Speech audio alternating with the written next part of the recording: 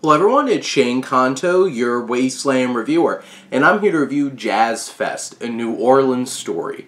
And this is co-directed by Frank Marshall, who free, uh, recently did the Bee Gees' How Can You Mend a Broken Heart, which is such a fantastic documentary from HBO, and did the documentary Peekaboo that came out recently as well, and co-directed this with Ryan Suffern, and this focuses on the iconic New Orleans Jazz Festival as it led up to its 50th anniversary. And this festival had been going on like clockwork every single year, capturing not only the music, but the food, the culture, and the history of the city of New Orleans.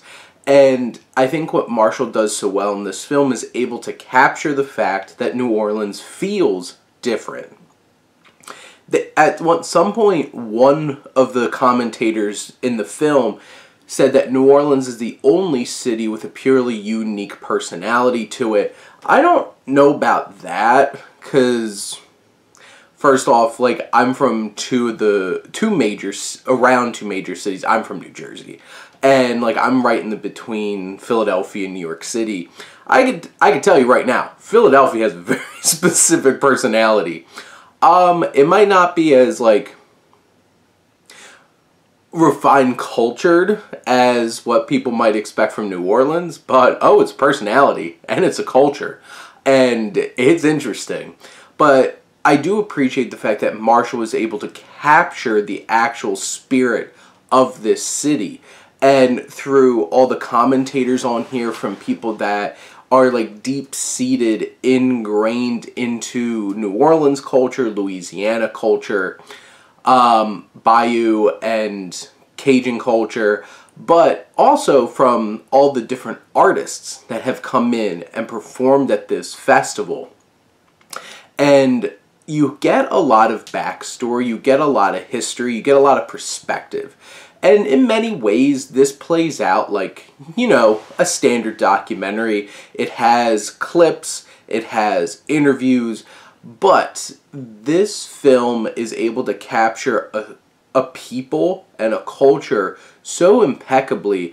I was blown away by this and really engrossed into the experience of the film and what this film was able to create in terms of atmosphere and personality. And the biggest thing is the musical aspects of it because they do show all of these performances and from right from the start they hit off with uh, Earth, Wind and Fire, September and just 100% sets the tone for the rest of the film.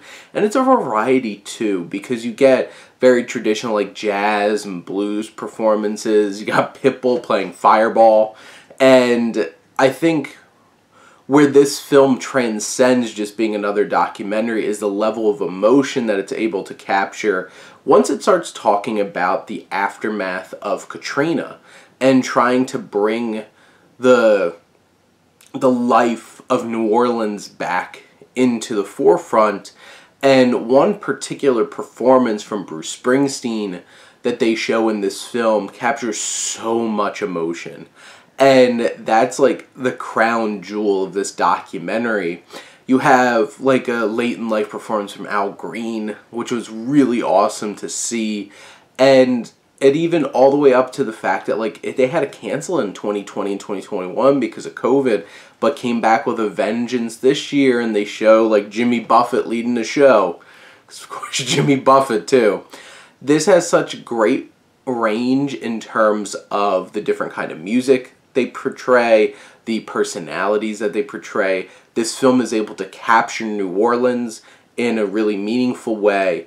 And on top of all of that, the music's great and there is some real poignant emotion here. And it does hit on some really heavy things. And this is a documentary that I'm going to be thinking about the rest of this year. Absolutely love this one. Go check this out. But those are my thoughts on Jazz Fest, a New Orleans story. Let me know what you think, and let's talk some movies. But thank you as always for tuning in and supporting your Wasteland Reviewer.